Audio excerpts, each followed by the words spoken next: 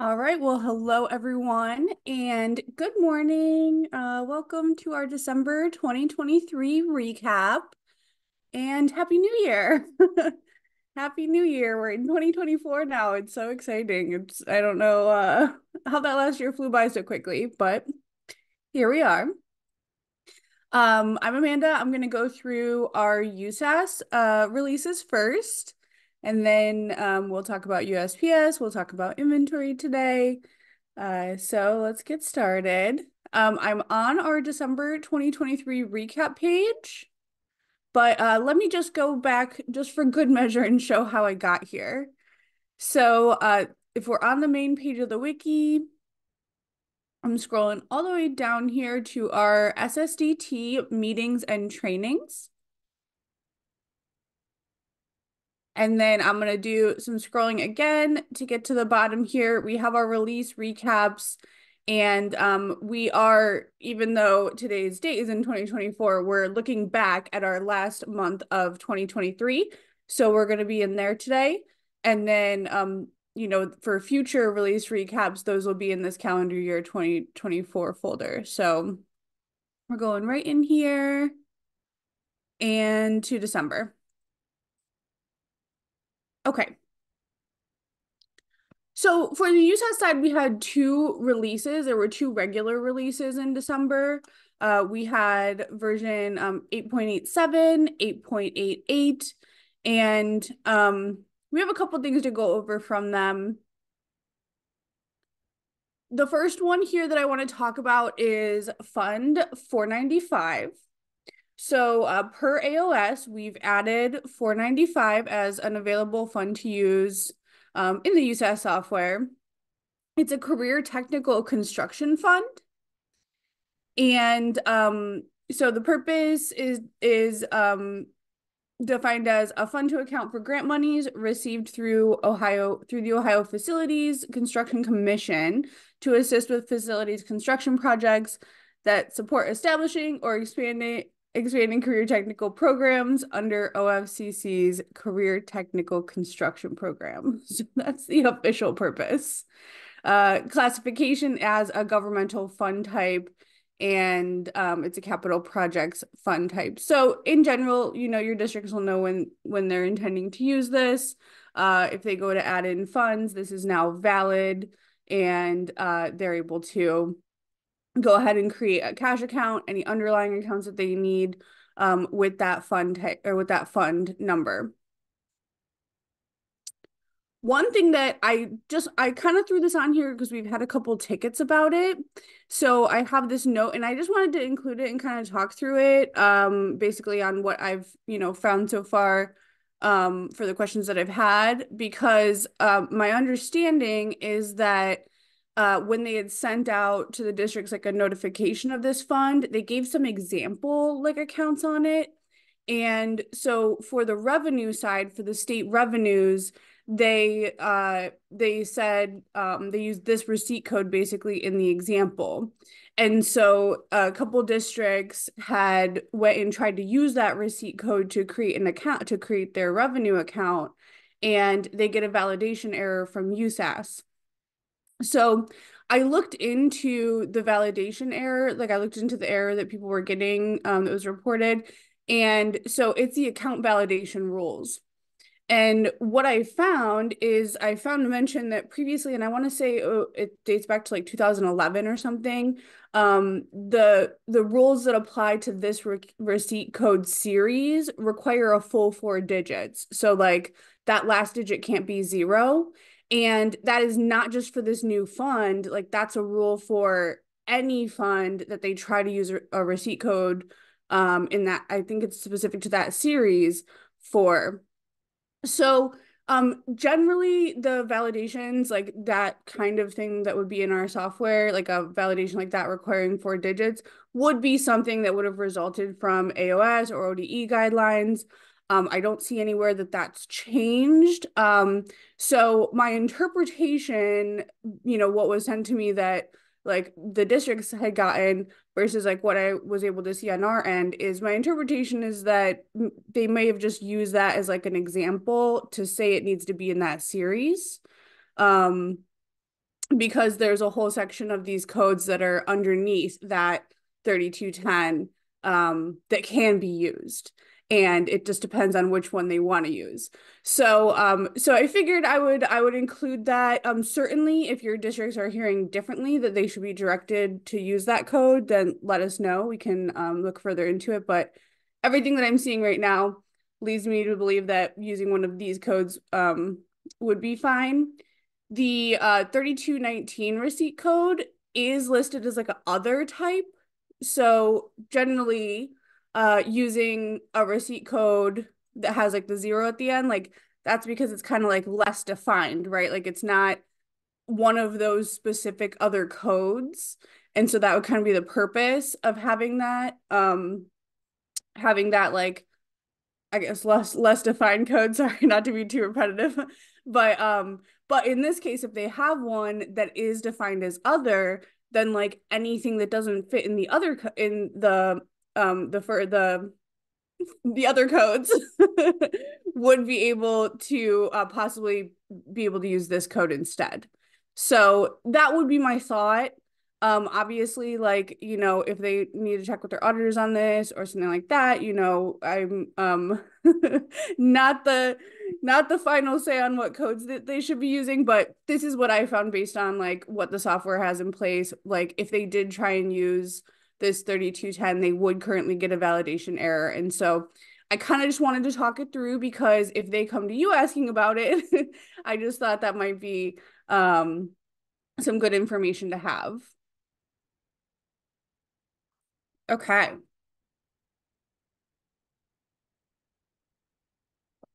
So now that we've talked all about account codes, let's switch over here, uh, switch gears and talk about 1099s.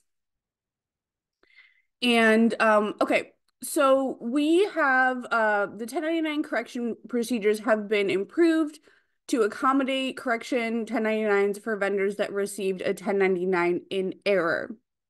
So, um, and there's a couple layers to this. Uh, if the correction type 1099 is selected, users will be required to have selected at least one vendor in order to process the 1099s and um, this changes to enable users to comply with error type 1 in the IRS documentation.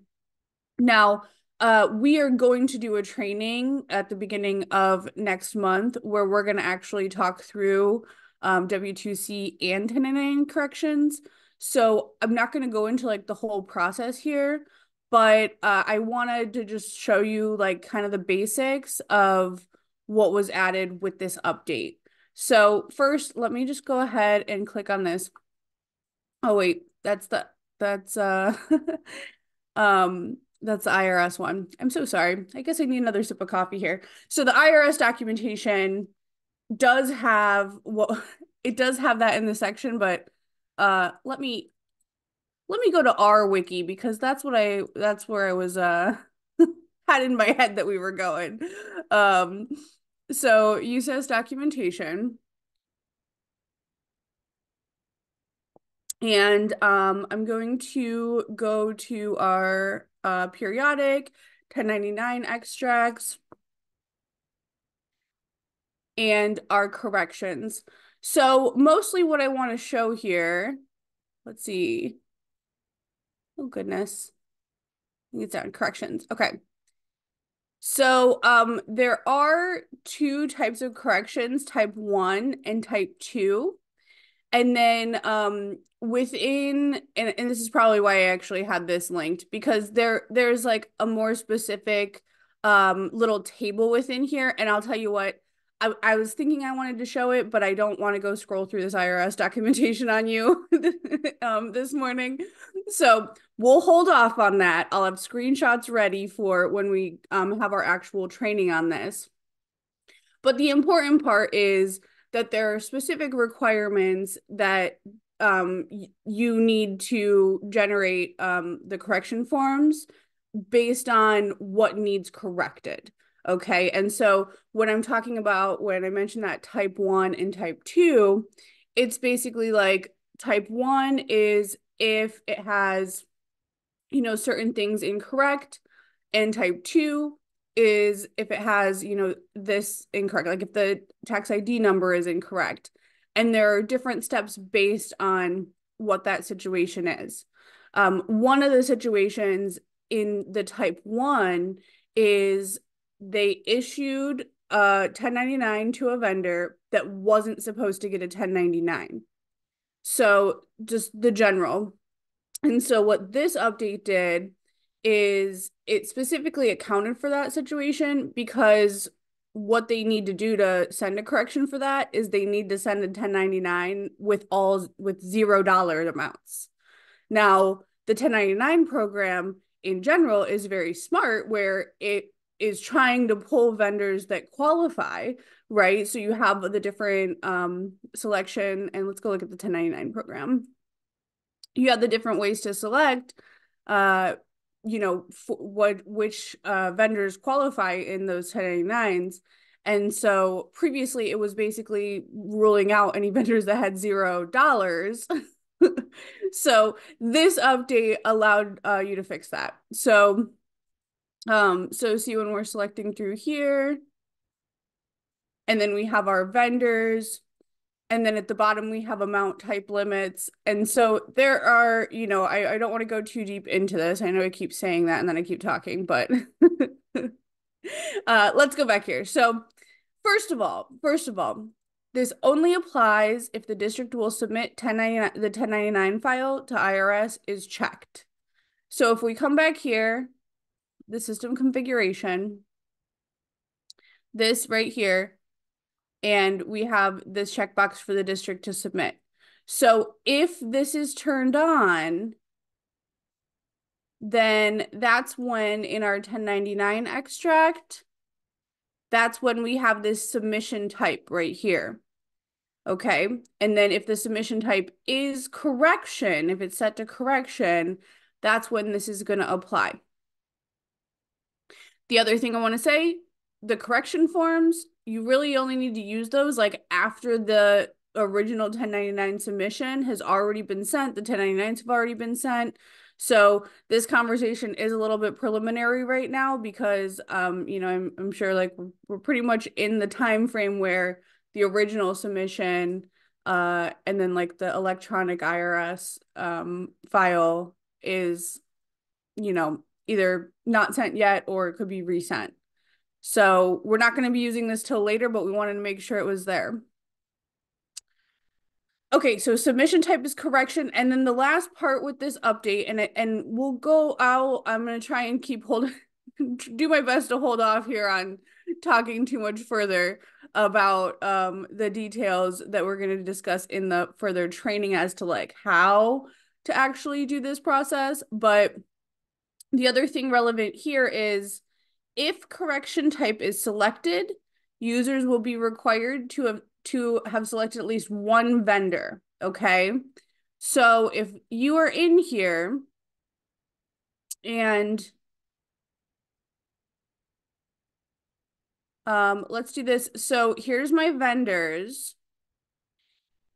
If I have this set to correction, then when I go to generate, it's going to tell me submission type correction selected. You must select at least one vendor to proceed. So um, again, if I had the original file the first time they're processing through this, it's not going to make them select. Uh, but basically we need to select one. Um, if they do have like a situation where they have multiple correction forms that they're filing, like they can use, um, if I hold control on my keyboard, they can select multiple and move them over. If you hold shift, you can select groups and move them over. So it can totally be more than one. Basically, just they have to select something. And the reason for that is because when we talk further through like what this actual process looks like, um, they can generate 1099s for vendors that have zero dollars. So uh so basically that's to prevent them like changing to this correction form trying to produce one for zero dollars and if they forget to select the one or the handful that they're trying to do it for then it would be trying to generate a file for all possible vendors. And we didn't want that to be like a possibility. So So basically it just it tells and in my experience, if they're creating a correction form, they're probably going to have just specific one or you know specific vendors that they're doing it for. So I don't think that this will actually be like you know something that's going to be too inconvenient um or something that they'll even necessarily run into that often. All right. Any questions about that? I'm so sorry. I feel like I was a little bit like I'm like ready to talk about the whole correction process and I'm like I know we shouldn't go too far into that part today. I'll save it. um okay. Okay, next we have implemented the ability to delete requisitions uh, with a workflow approval status of approved without having to reopen the posting period um, that's associated with the requisition date. And uh, all that to say, basically, um, we talked about um, the ability to delete requisitions in a closed posting period. Pat talked about that on a previous release recap. And um, one thing we found uh, once uh, this started being used in practice is that um, when we're looking at the requisitions, okay, let's go to our requisitions.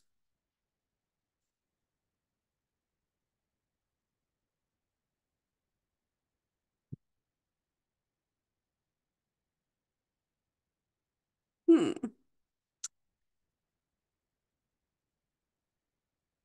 There it is. Okay. So when we're looking at our requisitions, first of all, if we're going to be deleting them, they can't be converted. So I'm going to go ahead and put false in there. And I have my workflow approval status on this grid because if we're going to delete requisitions in a prior period, um, this also, they also have to meet the other uh, qualifications. And, you know, Pat talked through those before. I linked them in that release recap page. Uh, basically, there's a rule that needs to be turned off. The pre encumbrance module cannot be on. And then if the if the district uses workflows then the status cannot be in progress. It can't be in progress because then it's in the workflow. So you can't just delete if it's in the workflow. So um and then also it can't it can't be converted to a PO because then that's like a record of of that PO so um once people started um looking into this using it if we look through our requisitions that we have here, um, pending, so those aren't submitted yet, canceled or rejected, those are no longer in the workflow. So you could come in here and clean these up. Now, there was like the software previously sort of like assumed if it was approved, then it was meant to be converted. But um, totally understand that's not always the case. Like it could have been a requisition that got approved and then something changed. And if they never converted it, it could be years old, then they may actually want to delete that. So that's what was updated with this update. So in this case, I have um I have a couple approved requisitions here. Again, not converted. And if I look at this real quick, this one is September 28th. I don't want to jump around too much, so I'll just tell you September posting period is closed in this instance. And so now we can see um, I do have the delete button. I went in ahead of time. I made sure the other parameters, um, the module uh, is turned, the pre-encumbrance module is turned off. That rule is disabled. So um, you know, all of my other qualifications for deleting recs are met. And now I have this approved requisition in September and I can go ahead and just delete that and it's gone. So um, if they're doing some cleanup, that's just another thing that um, is available to do as well. And then here I linked to this and this gives like the further detail on like what they need to do um, on those other things that I mentioned for um, being able to delete requisitions. Okay. And then the very last thing that I have for you today is for bug fixes. Um, a recent change to the 1099 correction um, option introduced a bug for districts who do not submit their own 1099s. uh, basically what happened is we added so um in this 1099 extracts, you know, I mentioned that this only applies if they um like be, the function that added the uh, being able to select the correction here and then having it require the vendor. So this submission type is only going to show here if they're checked to submit their own 1099 if they're not, if that's unchecked, that's not even going to show. So uh, basically, we just had a bug where it was showing the error when it shouldn't. like if they don't have this submission type, we fixed that. It's fine. Um, so that you know, uh, and that went out earlier in December. So um, hopefully, we we were able to catch that before too many people started running their preliminary reports. So that's all good to go now. Okay, all right, well, that's all I have for USAS. I think we're going to USPS next. Thank you, Amanda. No problem. Okay. Um, share screen. Um,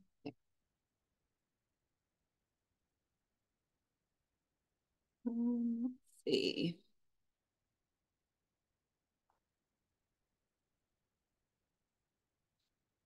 I'm not sure if you can see my screen yet. Let's see.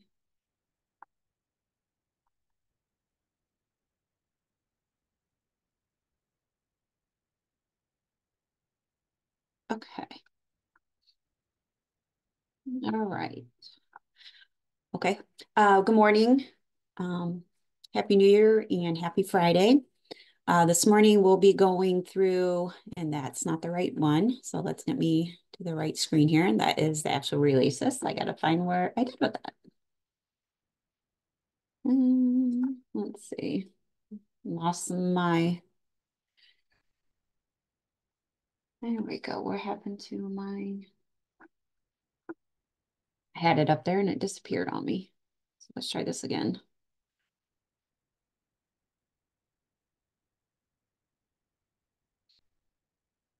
There we go. It. Okay. Okay. Um, okay, here we go. Now we're set. Okay, the first what we're going to go through is payroll and the um, bug fixes. And we had three regular releases in December, and then we had one hot fix. So the next first thing we're going to go through is the payroll posting um, for a bug fix. Um, a district noticed that the pay group date range when they had additions um, added with different um, beginning and end dates for pay groups, uh, that the pay date, um, pay stamp date was not getting um, on those in the attendance screen for those absences because it was looking at the original payroll date and ending and beginning dates. So that has been changed. So they should see a difference now when they view those absences and attendance, and those should have a PD, date stamp on those. The next thing is the SERS pay report. Um, there was a bug when they had a negative error adjustment was added for a, um, a SERS employee. Um, they noticed that the um, it was not calculating the hours and um, days correctly for that. Um, now, when they run a negative error adjustment and run the SERS pay report, they're going to see two lines. They're going to see one line for the adjustment, which is the row 51. And now it's going to just give one day and one hour on that. And then they're going to show the other, the 01 row, um, will show the rest of the days and hours. So it will equal what the report, pay report says for the days and hours. So that should be all corrected now. The next thing is a W-2 report. This, um, there was a Medicare um, issue, a bug when a district had, this was for actually one district, um, but it could happen to others that we found the bug. Um, there was an employee that had two full Medicare pickup items and they stopped one through the middle of the year and then with a stop date and then added the other one with a different payroll item um, payroll item number. And when they ran the W-2 report, it was creating a fatal or error on there for the Medicare. And even though the amount was correct, but it, they were still getting that error. So now that has been corrected and they, um, if districts have this scenario, they shouldn't run into any other issues. Um, on the W-2C forms, there was a bug that the employee name was not printing on the form. So that has been corrected now. So if they have to run W-2C forms, um, they shouldn't have an issue with the name missing. On the employee onboarding, um, a district noticed that when they were creating the compensation and they checked the report to EMIS, when they completed that task and they went to under core and compensation and checked that employee, the report to EMIS um, value was on check then. So that has been corrected. The next one is the audit report. Um, a district notice when they were running it for a position, um, they were getting an error. And what it was was a bug when um, it was looking at a building department codes and it couldn't be found. It was throwing um, a server error on that. So that has been corrected. The next thing is the SERS per pay report the error adjustments was causing the 50s records to double on their report. So when they were ending an error adjustment on the 590 for an employee, and then they were going to core adjustments to adjust that total gross for the 400 and 590, it was doubling on the SERS pay report. So that bug has been fixed. The improvements for December. Um, there was a request to include the SSD user listing AOS extract report in the monthly report bundle. So that has been updated. So now when they go to their monthly reports under file archive, they're going to see the um, name of the report is going to show as user listing report. So now they'll have that every month if they need to go back to that. And the next thing is employee dashboard search box. There was some, um, they wanted to improve those, how to search that. So if you go to your employee dashboard now, and you have several employees, maybe with the last name of Brown or um, oh, O-W-N, type, and they will bring up, and then you know the employee's first name. So now you can do um, the comma, and it will bring up that employee. Okay. And then also now it will search by um, the employee ID. Okay. Right. Um, there was a bug that, or not a bug, but um, what happened when they introduced this release here for this employee dashboard, it was also including any archive employees that the district might have. So it was making a long list under the employee dashboard and showing um, all the archive employees. Um, so that has been reverted back um, from that change. So now they should no longer see um, archive employees in the uh, employee dashboard search name. The next thing is the payroll report. There was a request for improvement on that because the two payrolls, the pre-post, uh, pre-payroll report and then the post-payroll report, um, the fonts were different. So there was just a request to make those um, exact.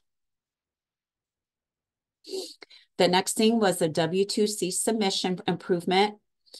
Um, this was for allowing um, on processing of W-2C correction records. So what that is, go to my thingy here. Where are we?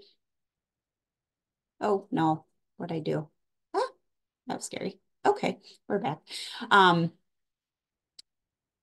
if you go to W-2 report, W-2 corrections, and W-2C records, if you have employees here that you have not processed yet and you're going to run and create this uh, file. So if you go now and you see this on process, oops, on process right here. This little box, you can't click on it right now. So if you have your employees and you need to create the submission file, you go to WC correction report, create submission, enter your information here that needs to be entered, and then generate the submission file. Okay, so now we see our W2C has been created with all those employees. If we go back to the W2C record, now you're going to see not all my employees are gone. So now you can go back and you can set it to true. These are the ones that have been processed. Now, if you need to reprocess, you forgot to add an employee and you want to reprocess that file and add an employee. So what you need to do now is go ahead and click those employees and click on process. That puts them all back to on process. So now you can create a new employee or update a file if there needs to be a correction. If they had it wrong, they can do that now. And then they can go back again, go back to the report and recreate that file with the added employee or the correction for the employee that you already had on the file. But hopefully that's um, pretty ex explained. Um, if you have any questions, let me know. Um, so that should be helpful if they have to recreate the file a couple times. They just have to select and redo that. Okay. And also, just to let you know, um, they're using the W2 configuration under configuration um, it to determine if the ITC is going to um, send that file for them or if the district is creating itself and sending it themselves. So again, just a reminder, um, it still goes off of that configuration here, right here. So if the districts or the ITC um, that's something between um, you and your districts. If you're going to allow them to do the W-2 submission, um, send that file directly to SSA, or you're going to um, do it for them. So again, you just have to remember this flag because that will set up that um, W-2 record, W-2C record correctly.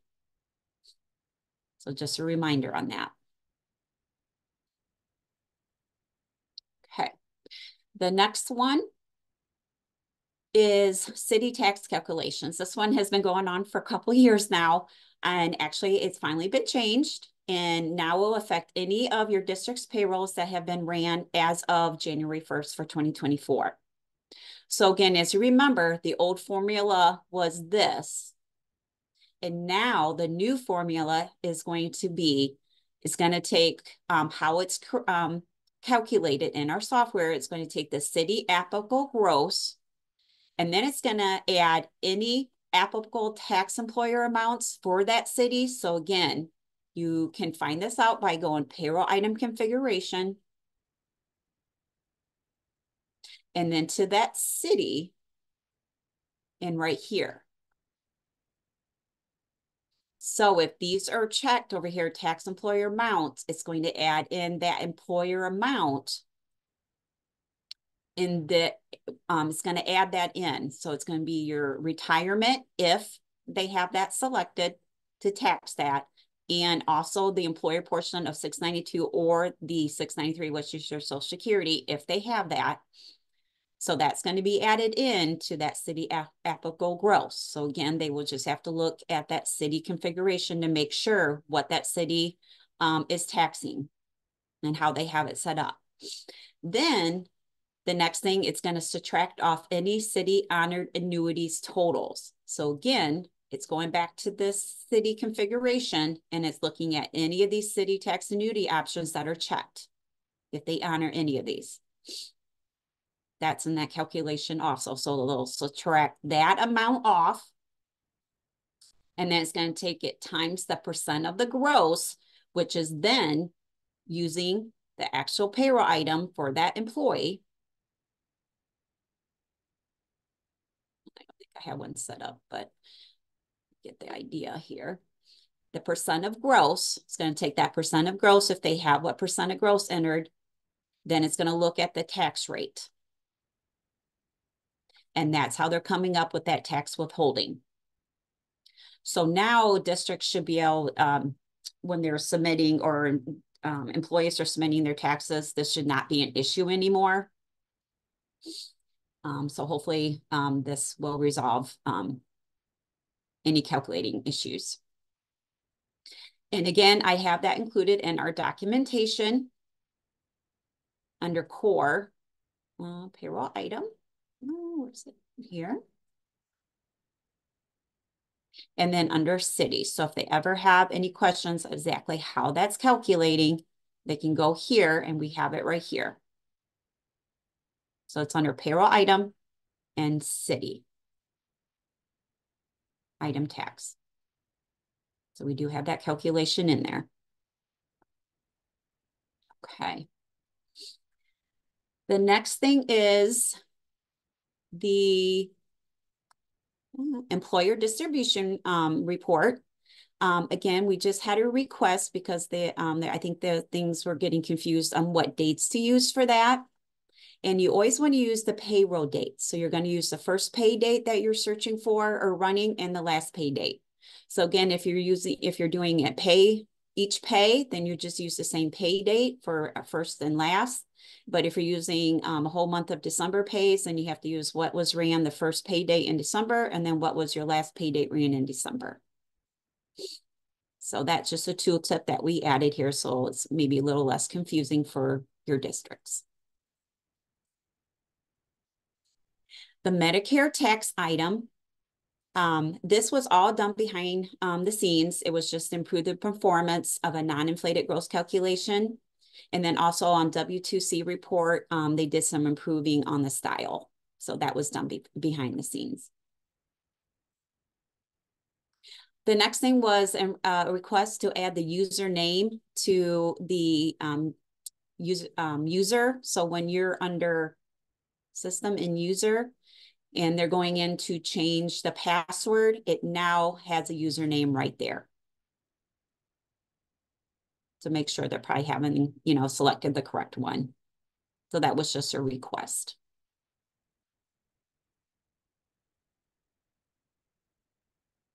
Okay.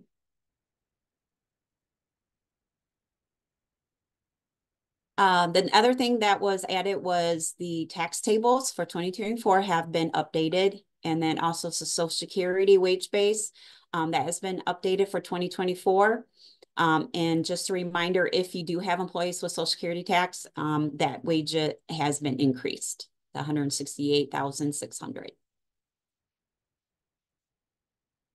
Okay, any questions on those? Okay, we'll go ahead and move to the new features then. Um, the new feature is the new submission, uh, the W-2 submission summary file city report. Um, this has been asked by districts for many years. So um, now they have that for this year. Um, the first one is the CCA.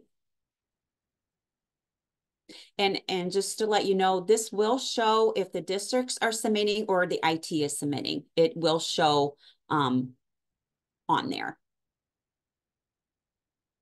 So they will see, go to submissions here. There we go. They will see this new um, city submission file for both. So that will be there. So the first one, um, the CCA one, I don't have anything set up for CCA, so we'll go ahead to our, and you can find this under um, W-2 reports and W-2 report and submission, and you can see those here now. So now, um, where is it? Here it is. So your first one where we'll go through is the CCA one. Now, just to remember, um, it's going to show the city names, employee, employees process, the city wages, and the city tax withheld. For CCA and RITA, they're showing employees that are CCA and employees. So if they have a CCA record, but they have another city that they pay tax in, but it's not a CCA rec or CCA um, marked as CCA on the payroll item configuration, they're going to show in both reports. So just a reminder on that. It's just not CCA employees. Um, they're going to show both. So you got to remember if your uh, employee has a CCA um, city marked, and then if they have another CCA that they pay or another a city that they pay into, they're going to show both here in the report. because both CCA and Rita want to see that. So just a reminder. And again, um, the CCA really hasn't changed. Um, it just adding this report.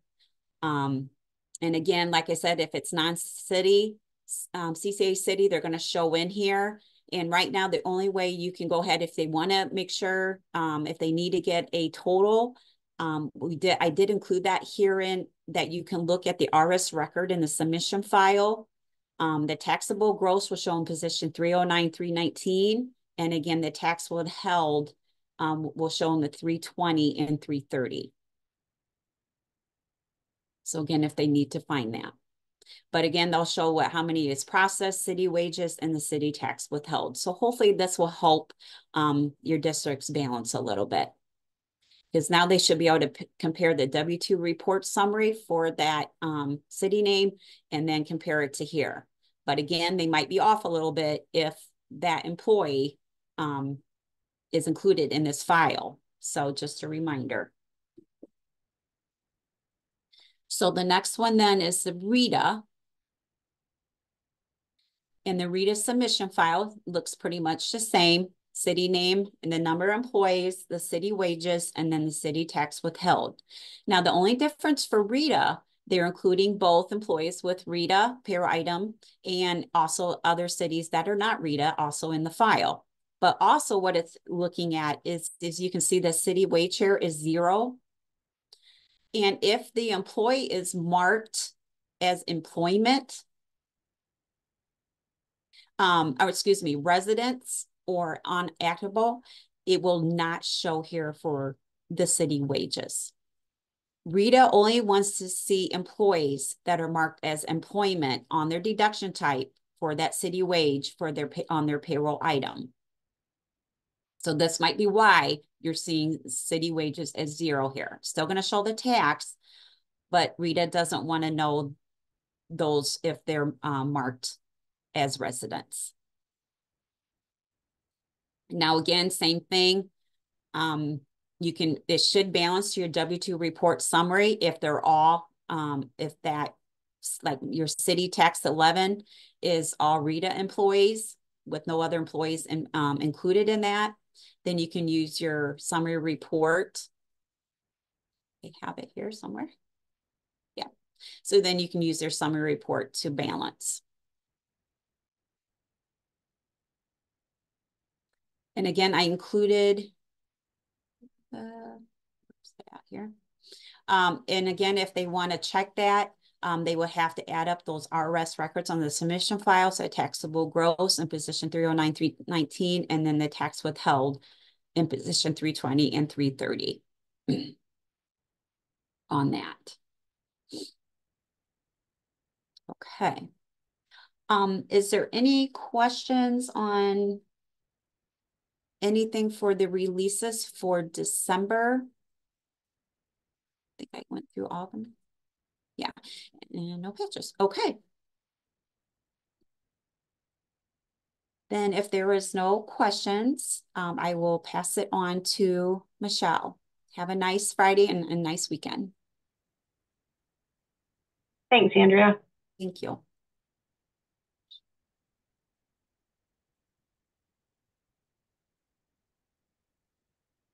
Okay. Good morning, everybody. Happy New Year and happy Friday. Um, so what we're going to cover is um, what happened, uh, what took place in inventory in December. And then after that, I'm going to walk you through our new training page for 2024. We got everything set up. Yay! Um, so, but uh, registration is a little bit different. Um, so um, I wanted to walk you guys through that. Very easy, but I just felt like let's let's just walk them through it so that they're comfortable with it. So before we get to that, let's talk about inventory here. Um, we had one regular and one hot fix in December. Um, the bug fixes that uh, were resolved is for those districts that were starting new in inventory that didn't migrate, starting a new instance um, in the redesigned software.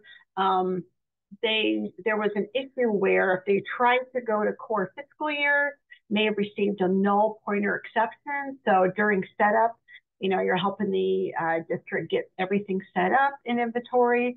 And if you clicked on fiscal years, you could have received that null pointer exception message. Um, so um, we have resolved that, so that shouldn't be an issue anymore. Um, also, gonna before I do anything, make sure my chat is over here. Questions. Um, another um, bug fix is underneath transactions with the filtering in the acquisitions and dispositions grid, we have made some improvements. So what you and your users may have run into on some of the fields that they were trying to filter on, some of the columns, um, they may have received like an internal error message pop up in the corner. I mean, you had to click on that to basically restart it. Um, so we have fixed that, and I have the specific fields that that was happening to. Um, also, in the disposition grid, if they were trying to um, do a filter on both the tag number and the date in the disposition grid, they were getting that. Oh, go ahead and increase this here to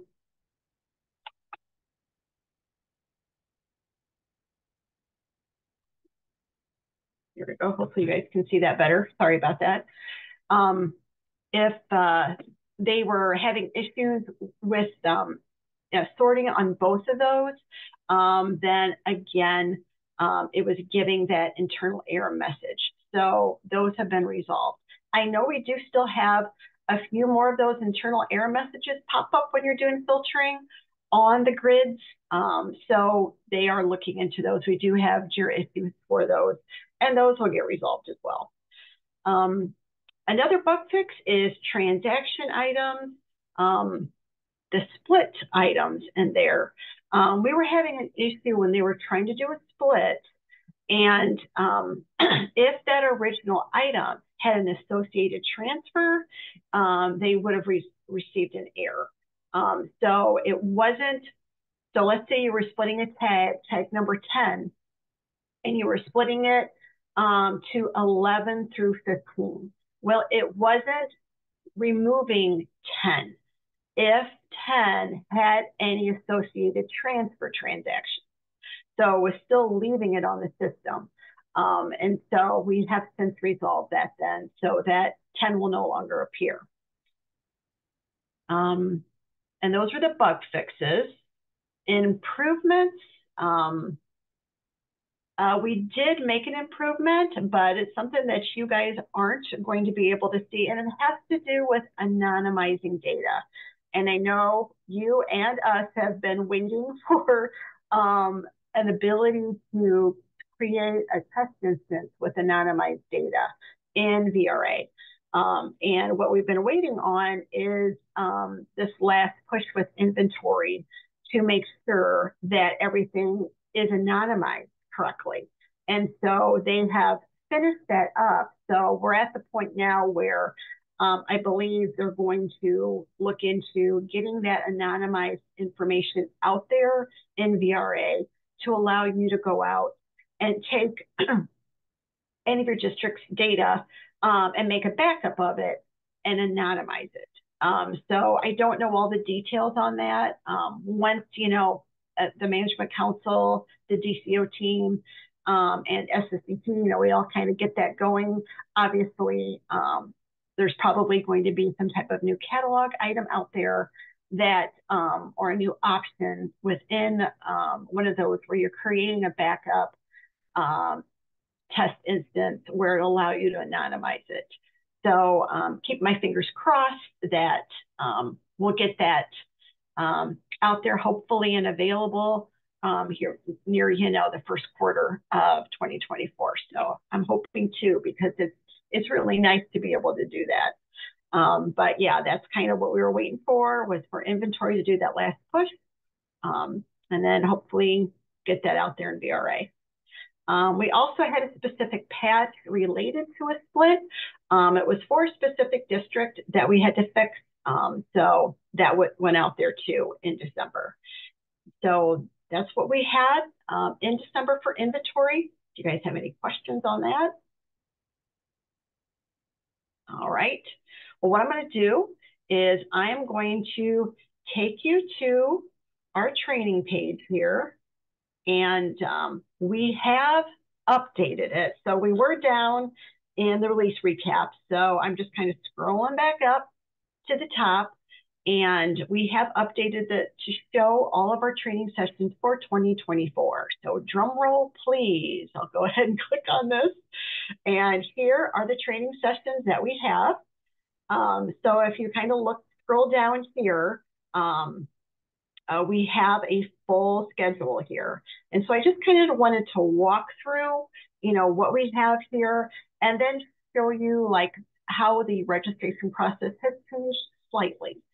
Um, so down here, if I look at um, January, that will be our next one. And you notice we have a gap here. So we do not have any Fridays with fiscal sessions until the beginning of February.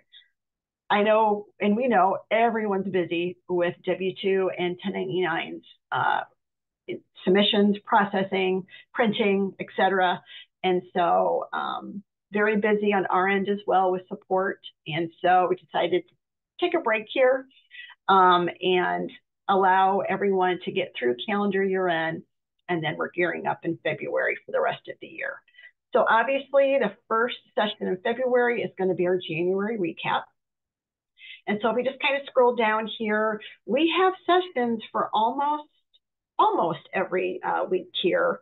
Um, and so it's just kind of review. Again, the grid looks this pretty much the same. It um, will specify the type of session.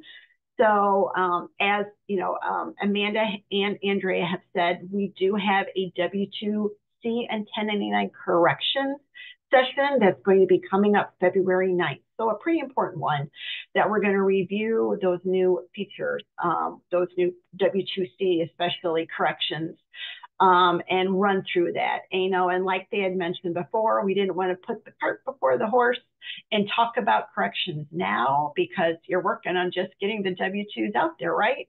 Um, let's worry about any corrections that were had already been submitted and correcting those in February. So that's why we're just going to um, hold off and do that session in February. Um, we're going to do our standard budgeting session. We do that every year. And, um, and then we do our overview sessions for USAS and payroll um, in March. And those are three-day sessions, a half day each day. And so um, for those of you that are new, you know, haven't gone through that, um, maybe went through the recordings that we did last year, but you would like to actually attend the session this year, um, please sign up for those. Um, and uh, we will lay it out same way that we did last year as well. We're doing like for payroll, uh, prepping for payroll um, day, the actual payroll process the next day, and then after the payroll process on the third day. And same thing with USAS, managing accounts is our focus the first day, expenditure second, and receipt process the third day. Um, and then in April, we'll do our inventory overview and go through those as well on a three-day type of schedule. Um, right now, too, we do have, um, and I, we just put this in here so that you're aware that, you know, we've talked about doing regional training and that is on my list of things to get going here and scheduled uh, where we're going out um, on the road and providing uh, software uh, training. So um, the week of April uh, 22nd through the 26th, that Tuesday, Wednesday, Thursday um, is when we're planning on doing that. So I just put that out there so you guys are aware. And again, like I said, that's next on my list to get scheduled. Um, in um, May, um, one thing that we have changed in regards to year-end sessions that we do with you guys is we used to have them all together on the same day, or we were splitting out the payroll into two separate days, and we changed that this year. It's like let's let's focus on having USAS um, and going through fiscal year end, calendar year end on one Friday, and then the following Friday focus on payroll and go through fiscal year end, cal calendar year end. Um, that way, you guys can put your USAS cap to focus on that, and then take a breather for a week and then focus on payroll.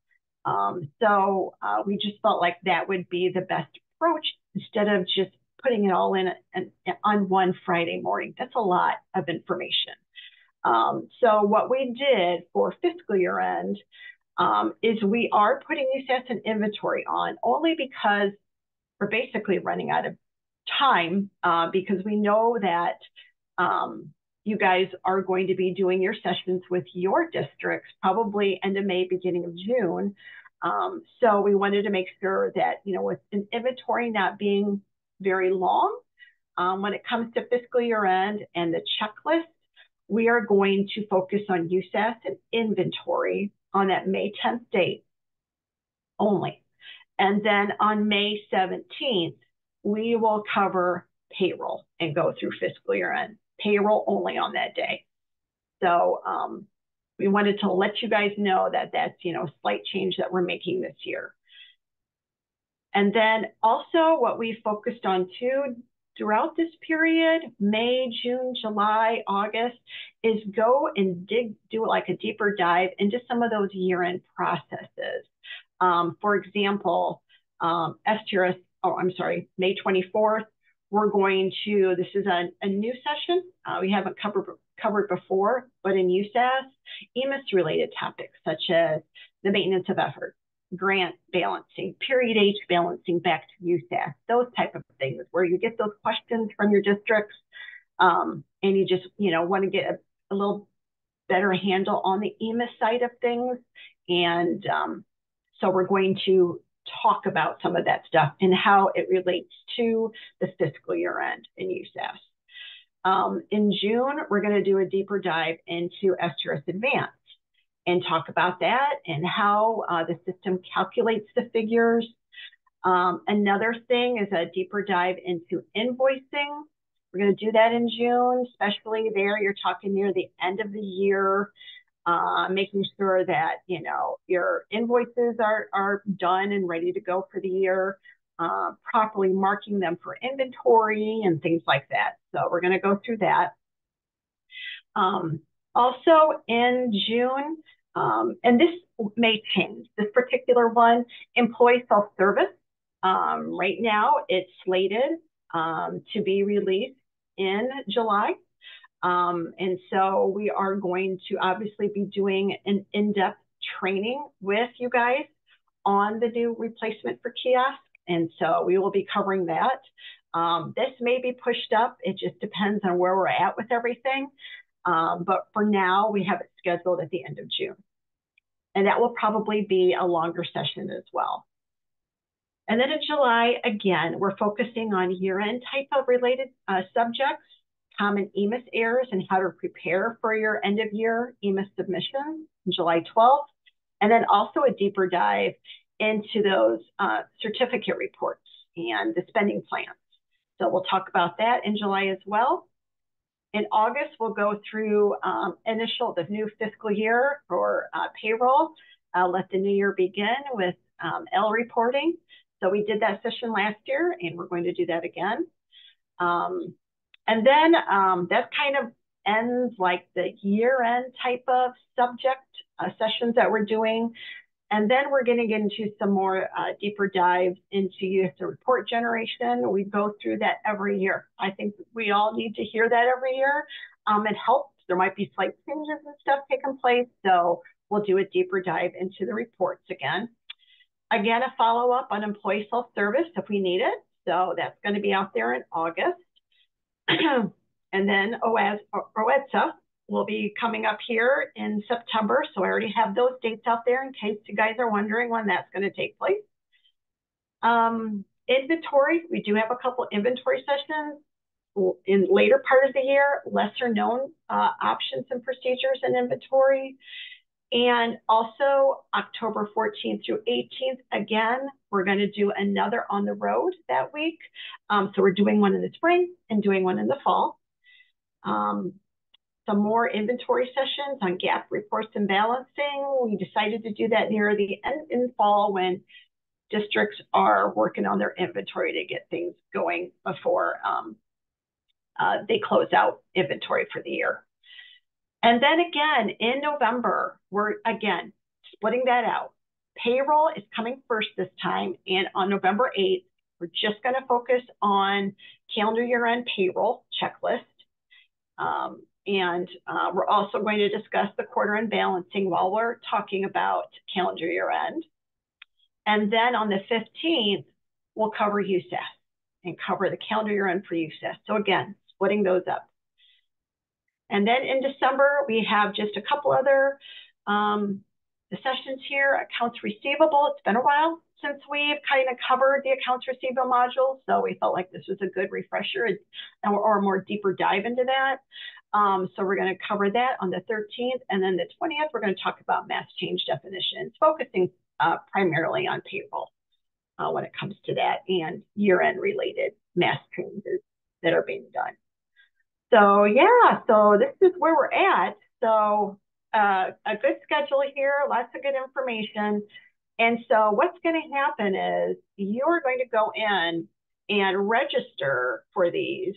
Um, and so obviously we were doing this first one today. So when you're ready to go in and start registering for the sessions, you're going to click here like you normally have, but you're going to see things a little bit differently. I'm going to show you the screens that you're going to see. So when you click to register, here's an example of registering for that January recap session.